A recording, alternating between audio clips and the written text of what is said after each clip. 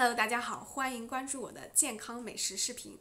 如果你看过我之前那期呃咖喱牛肉视频的话，你一定对姜黄这种香料有了一定的了解。然后我最近无意中看到了一本书，叫《零压人生》，它的作者是一位呃剑桥大学的医学博士。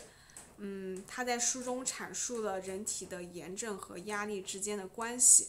然后很多人体的微妙的一些慢性发展炎症，我们身我们很难察觉，但其实它会引发压力。关键的是，他也强调了姜黄可以缓解肠道的炎症，从而促进人体的免疫系统健康。然后我就决定去调整一下我们家的呃调料盒，这个就是我们家现在的调料盒，然后。我把这两个，这盒换成了姜黄，这盒换成了嗯混合胡椒粉。哦，姜黄粉我就是买的现成的，这个亚超就有卖的这种姜黄粉。然后，呃，这个是大部分是黑胡椒，一少部分的白胡椒，我放在了这个研磨机里磨成的这个粉。这个研磨机还是磨得很细腻的。好啦，现在我们就要去做两道姜黄的美味佳肴。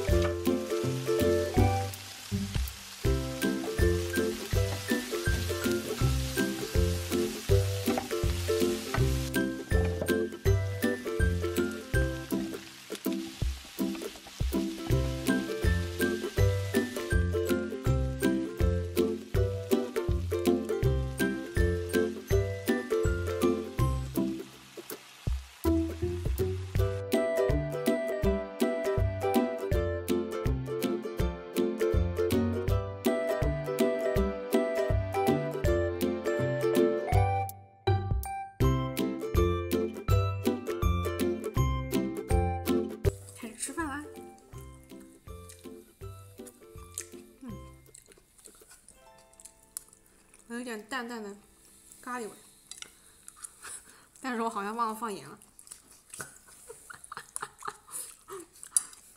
所以要放姜黄粉、胡椒粉，还有盐，盐。